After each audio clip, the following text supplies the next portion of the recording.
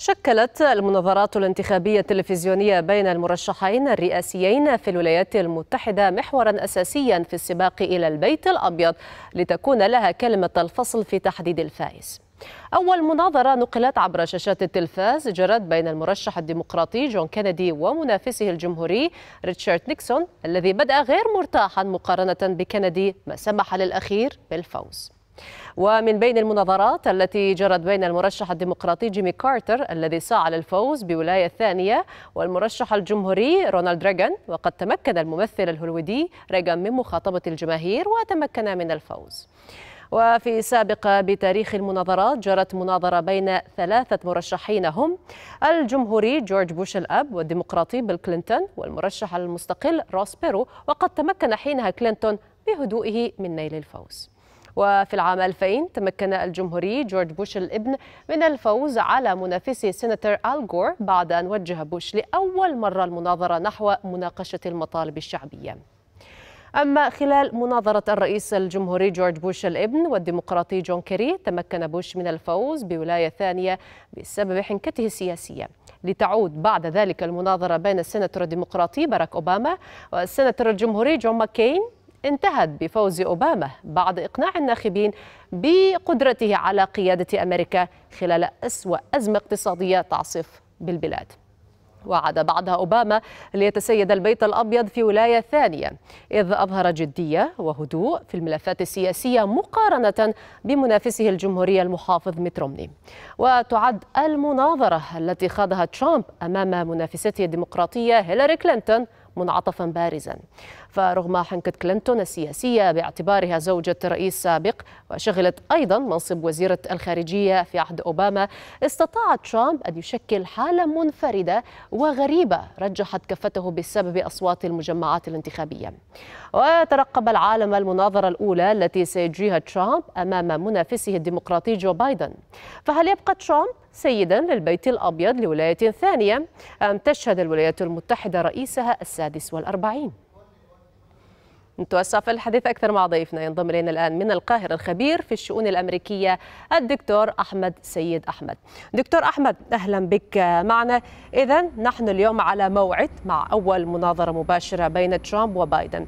كيف من الممكن أن يكون تأثير هذه المناظرة على مسار الانتخابات وأيضا على تصويت المرشحين؟ يعني في الواقع أن تاريخ المناظرات الأمريكية لم تكن لها تأثير جوهري باستثناء يعني مناظرات محدودة أو معدودة. على الأقل يعني كانت تأثيرها لا يتجاوز 5 إلى 10% فيما يتعلق بتغيير أصوات الناخبين خاصة ما يسمى الأصوات المتأرجحة أو المترددين. لكن هذه المناظرة وهذه الانتخابات ربما تكتسب أهمية كبيرة تلقي بظلالها على هذه المناظرة لأنها تأتي وسط أجواء غير مسبوقة في أمريكا فيما يتعلق بحالة الانقسام الشديدة داخل المجتمع الأمريكي من ناحية فيما يتعلق بجائحة كورونا التي ألقت بظلالها الاقتصادية والاجتماعية والسياسية حتى على المجتمع الأمريكي أيضا فيما يتعلق بالأوضاع الاقتصادية المتراجعة والمتدهوره كل هذه الأجواء ستلقي بظلالها ونتوقع أن تكون هناك مناظرة ساخنة على الأقل ما بين ترامب وجون بايدن لأن المحدد الأساسي في هذه المناظرة هو توظيف أو اللعب على نقاط ضعف كل طرف للطرف الآخر. بمعنى أن جون بايدن الذي يعني يعد له أول اختبار حقيقي الآن أمام الجمهور أمام الكاميرات أمام التحدث بشكل مباشر في ظل صمده وابتعاده الآن سيكون له اختبار أمام ترامب البارع على المسرح. الذي يثير دائما الجدل بأسئلته ومناظراته وكلامه وحواراته. لكن في اعتقادي أن بايدن سيحاول أن يوظف نقاط ضعف ترامب وهي المعروفة بما يتعلق بفشله في إدارة جائحة كورونا أو تدهور الأوضاع الاقتصادية أو نزاهه الانتخابات ورفضه ربما يعني الانتقال غير السلس للسلطة. لكن تظل الإشكالية. هل يستطيع بايدن اليوم أن يقدم بديلا ورؤية متكاملة؟ بدي تقنع الناخب الأمريكي أو المتأرجح الأمريكي أنه سيكون أفضل في حاله تولي اداره أمريكا من ترامب. بكل تأكيد برأيك على ماذا سيركز فعلا اليوم الناخب والمشاهد الأمريكي؟ هل على الأداء أداء كل مرشح أم فعلا على المواضيع التي سيطرحها؟ أنا في اعتقادي أن الاثنين سيكونان مهمان لأول مرة في هذه المناظرة على خلاف ربما المناظرات السابقة. فيما يتعلق بالأداء. أيضا الجمهور الأمريكي بشغف لمعرفة ما هي قدرات بايدن الذي يشكك ترامب في قدراته الصحية والتنميه بتاعت المنشطات قدرته على التعامل بإيجابية مع القضايا وحيويته هل سيقدم بدائل هل سيجاوب على الأسئلة بشكل مقنع للناخب الامريكي أنا في اعتقادي أيضا أن ترامب سيوظف هذه النقاط وهي تعتبر نقاط ضعف عند بايدن.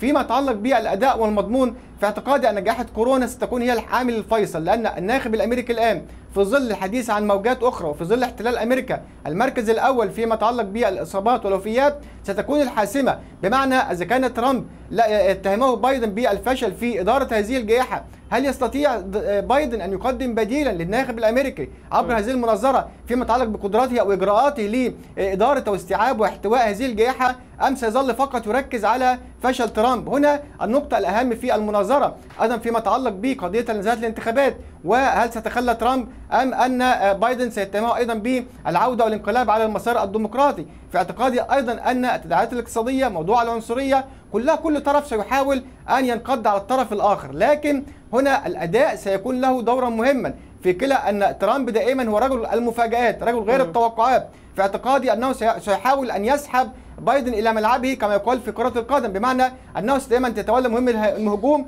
في مقابل أن يتولى بايدن الدفاع. هنا ستظهر قدرات كل طرف على الحوار وعلى الحديث. كما رأينا حتى في بايدن في ترامب مع هيلاري كلينتون في السابق دكتور أحمد أنت قللت ربما من تأثير هذه المناظرة تحديدا على ميول الناخبين ولكن ماذا عن دلالات أن تعقد هذه المناظرة تحديدا في ولاية أوهايو؟ هذه ولاية مهمة بالشكل أو بآخر دكتور أحمد أنه يمكن أنه تنقلب نتائجها من معسكر إلى آخر.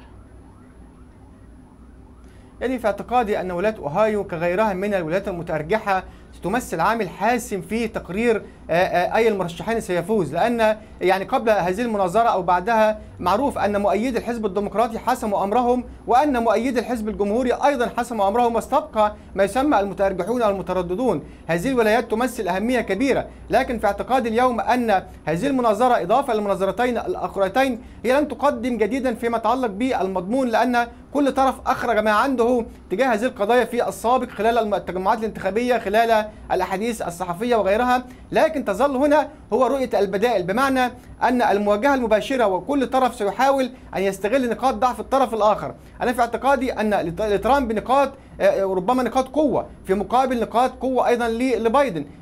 قدرة ترامب على الحوار قدرته على مواجهة الناخب وعلى دغدغة المشاعر وقدرته الحوارية الكبيرة على خلاف بايدن أيضا هو هو التزم بالصامت. ليس لديه يعني ربما آراء واضحة أو جريئة. المجتمع الأمريكي بطبعه يعني دائما يشغوف أو دائما ينجذب إلى الشخصية ربما الكاريزمية أو الشخصية المثيرة للجدل لكن فيما يتعلق بالمضمون أيضا ترامب يدخل ولديه نقاط ضعف فيما يتعلق بتدهور الاوضاع الاقتصادية يعني هباء كل حتى دكتور. الإنجازات الاقتصادية ربما يعني ترحب في مقابل أن بايدن سيحاول أن يوظف هذه ال ال ال النقاط الضعف.